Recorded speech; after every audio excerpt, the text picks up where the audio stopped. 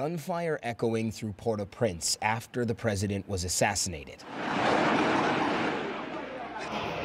Then, just 36 hours after a group of more than two dozen Colombians and two Haitian Americans allegedly killed the president, most would either be detained or declared dead. This is how that happened, according to a source with knowledge of the operation to track them down. Nighttime video from around the time of the president's death quickly went viral, where you can hear a suspect claiming there was a DEA operation ongoing. Later, a convoy of five cars can be seen leaving the area with ease, but down the road, a trap was being set. As the convoy traveled down Kenscoff Road, a roadblock was ready. Heavily armed security forces would not let them pass without a fight. Arriving and seeing they couldn't go any further, the convoy stops, part of which you can see here.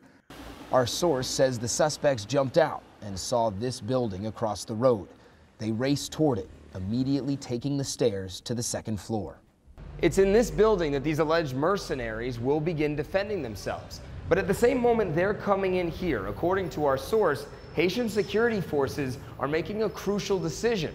They know that these alleged attackers have limited food, water, ammunition, and no power.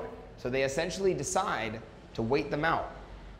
About 12 hours later, after baking in 90 plus degree Haitian heat, authorities throw tear gas in front of the building. It's enough to force negotiations, and the Colombians inside eventually send out four people, including this man, one of two Haitian Americans whom authorities have detained. He's joined by the other Haitian American and two Haitian hostages, a pair of police officers who were at the president's house. According to our source, at some point during the negotiations, a group of the Colombians still here come out of this building and start heading up this hill on the backside of the building. And eventually they make their way to a seemingly strange destination. Just about 100 meters up the hill from the building lies the Taiwan Embassy. Our source thinks the Colombians went there because it wasn't an easy place for police to enter, given its diplomatic immunity. In order to get all the way here to the embassy, though, they had to walk through a pretty residential neighborhood. And according to our source, someone tipped off authorities that this group of heavily armed men was here. When they arrived at the embassy, they found a largely empty building except for two security guards, whom they tied up. Security forces quickly surrounded the embassy and then turned their attention back to the building below, where they believed a few suspects remained. It was time to go in. A small assault team went in on the ground floor and were met with fierce fire that you can hear from the handful of Colombians that were still inside. The hour long firefight shattered windows, scarred concrete ceilings and walls, and in the end, the government says at least three Colombians died in the fighting. The next day, with Taiwan's permission, authorities went into the embassy. Our source says authorities checked CCTV cameras and found nearly a dozen Colombians in a room who ended up giving up without more fighting. Nearly a half dozen still haven't been found. Matt Rivers connecting us uh, now from the Haitian capital of Port-au-Prince. And what, what is the latest on this investigation? And, Matt, this Florida resident who supposedly wanted to become Haiti's president, what more do we know about him?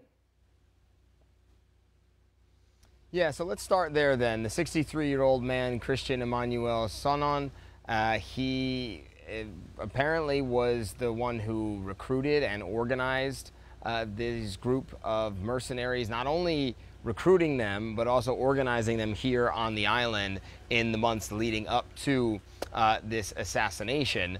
Um, he apparently, according to authorities, wanted to, quote, capture the presidency. Exactly what that means, they didn't say. We don't know if he has legal representation. We don't know what he has officially been charged with, if anything, but that is basically what we know about him.